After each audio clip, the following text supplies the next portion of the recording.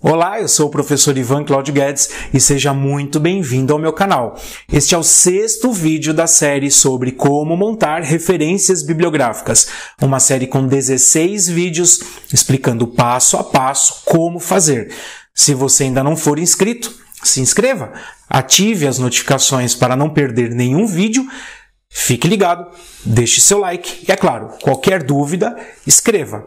Neste vídeo eu vou falar sobre a publicação de eventos.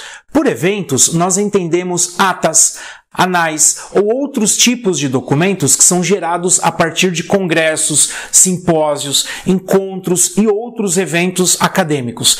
Geralmente, os trabalhos apresentados nestes eventos geram um documento com os resumos ou resumo expandidos que são publicados e que nós utilizamos nos nossos trabalhos. Para referenciar o evento, você precisa inserir o nome do evento, a numeração, se houver, o ano e local, a cidade de realização. Depois vem o título do documento, se se trata de anais, atas, tópicos temáticos, enfim. Seguido dos dados de local de publicação, editora e data da publicação, assim como está neste exemplo aqui. Atente-se para que o destaque vai para o título do documento. Se você não viu o primeiro vídeo desta série, assista. Há várias padronizações e informações que eu não estou repetindo e que foram explicadas no primeiro vídeo. Note também que a quantidade de páginas não consta como elemento obrigatório.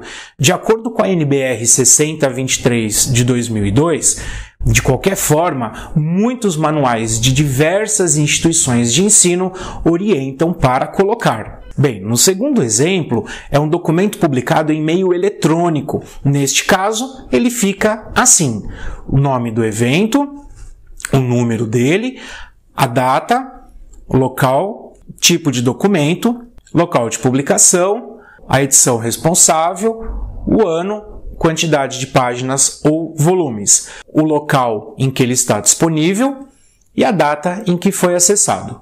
É isso, sem segredos. No próximo vídeo, eu vou tratar de trabalho apresentado em evento.